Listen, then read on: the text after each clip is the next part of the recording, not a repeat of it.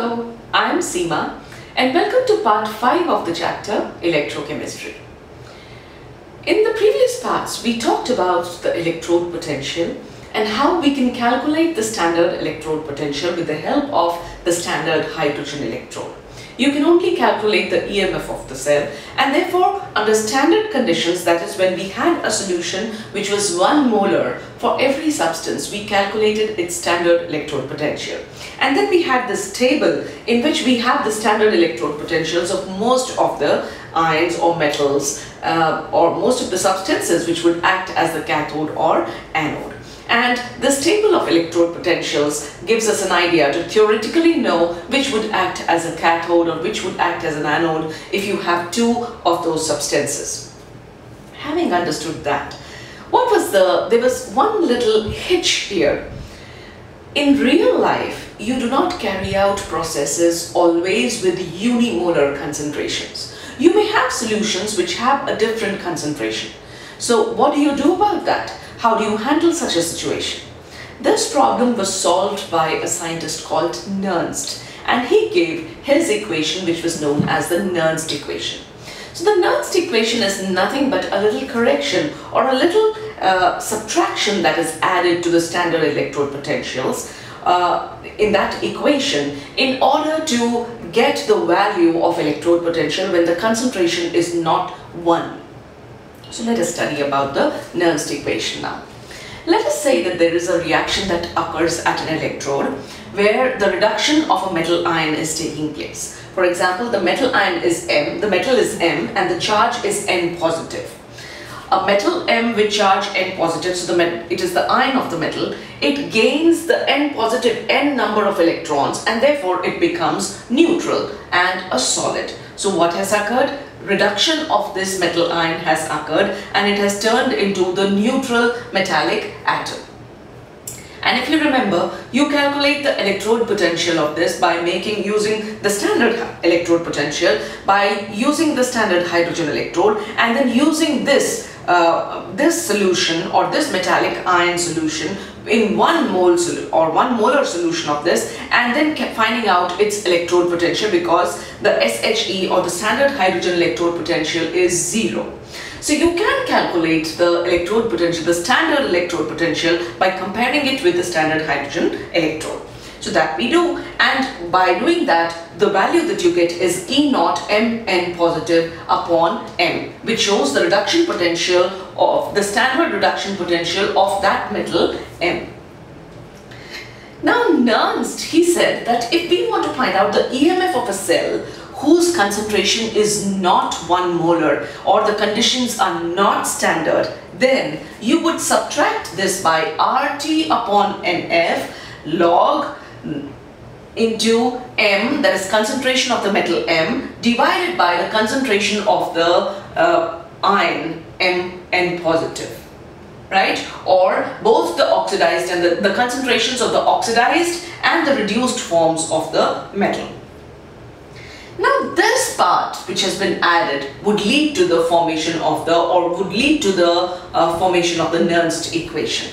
So this factor that Nernst added or this particular part of the equation which was subtracted in order to give us the electrode potential of that metal not under standard conditions but with a concentration which was not equal to 1 mole per liter.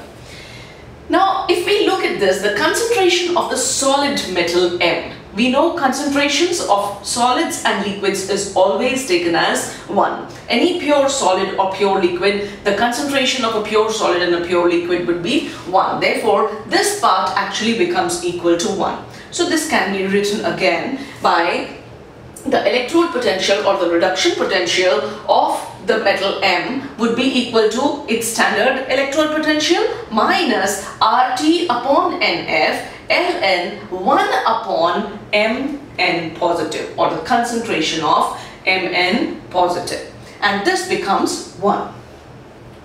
Now what is R here? R here is the gas constant.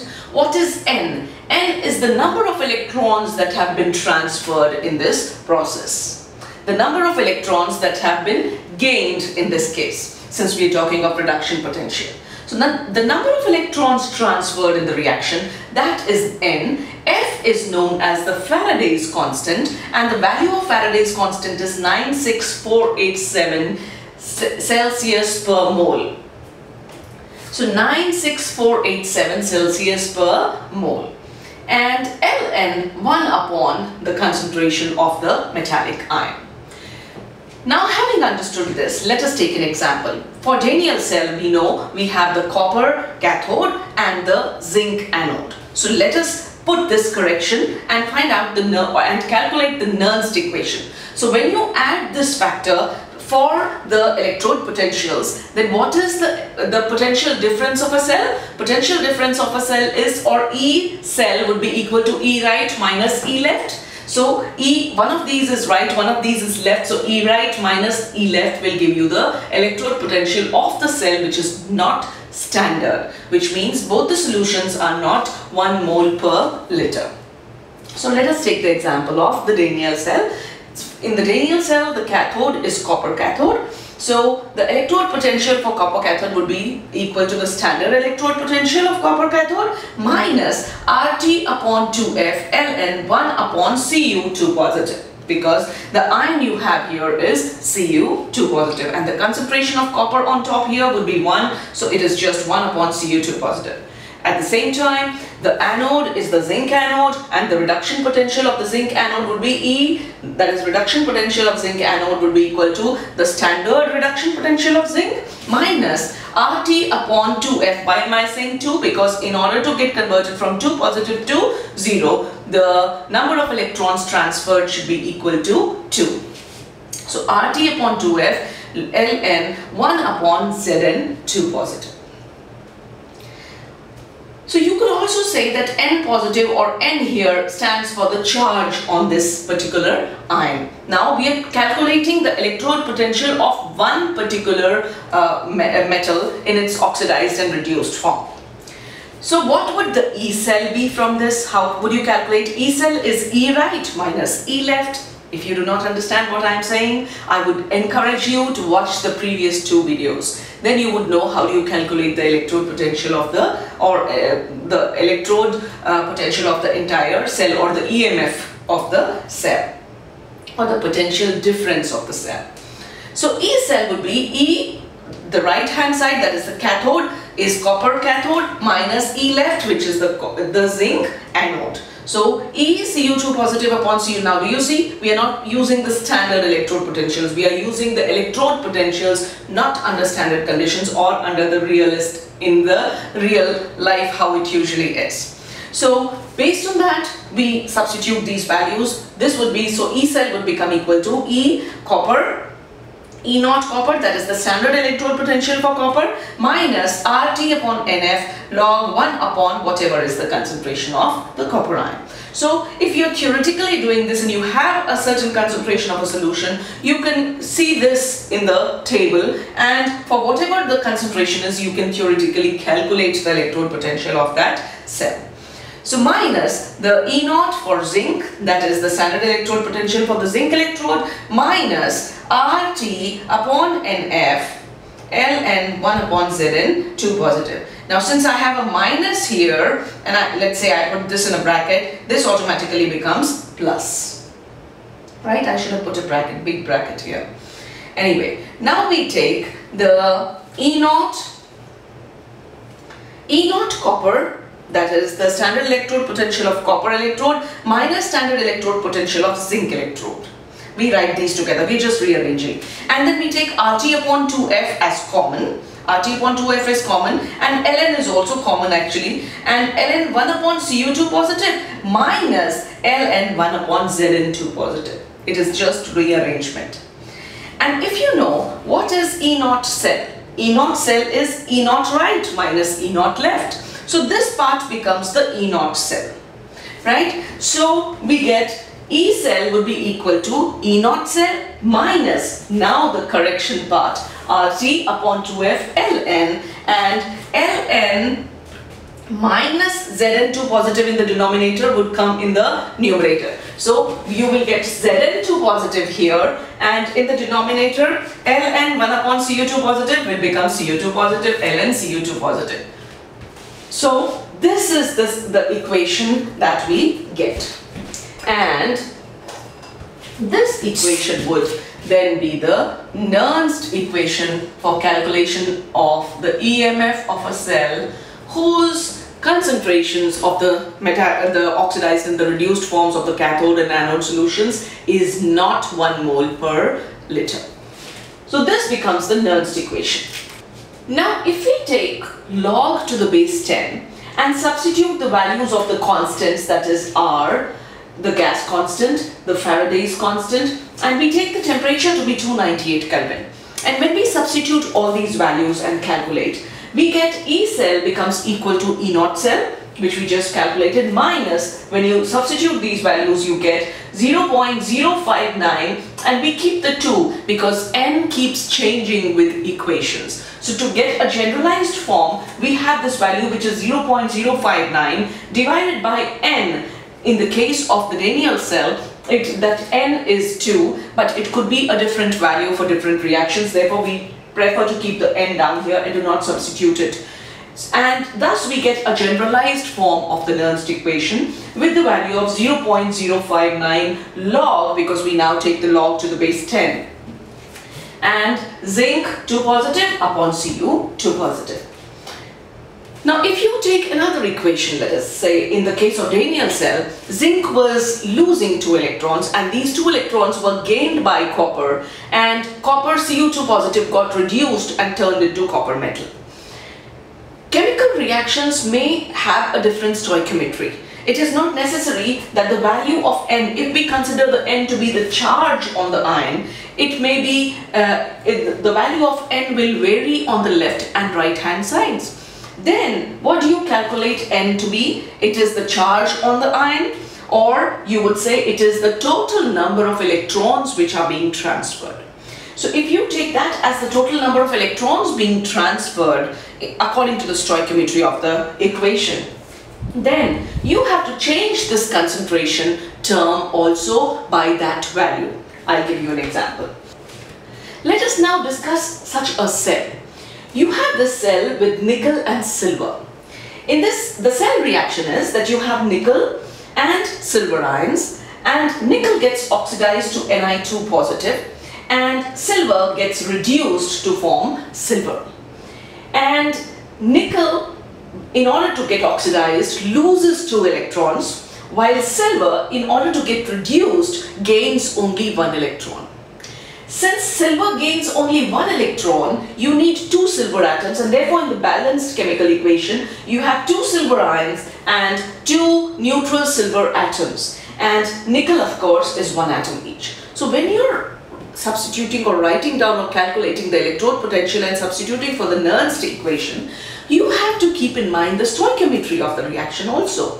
Because after all, the number of electrons which are being transferred is n. So what is that total number of electrons? And if you remember when we did chemical equilibrium in class 11, the concentration terms have to be raised to the powers of their stoichiometric coefficients. You remember when we calculated the equilibrium constant?